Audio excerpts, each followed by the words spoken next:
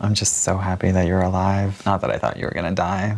Kidding. Totally thought you were gonna die. How are we today? You know, good. I cheated death. Don't make me dig. I'm healthy, I'm ready. The first time in my life I feel solid. Yes! But the whole reason my dad's coming home is because he's freaked about me, and that's gonna mess with my new vibes.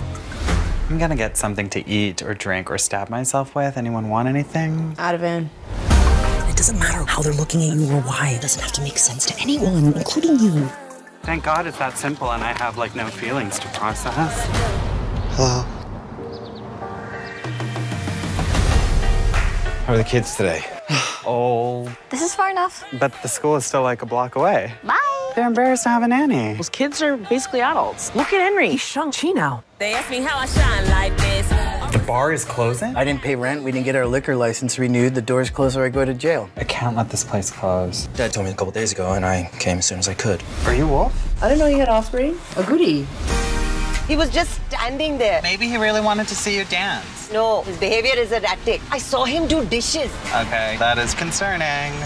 I'ma get it, get it, I'ma You gotta be honest about your feelings, even the confused ones. I have to deal with that. Dealing with you existing. I don't know what to do. Just tell me what to do and I'll do it. Are the nails necessary when you go there?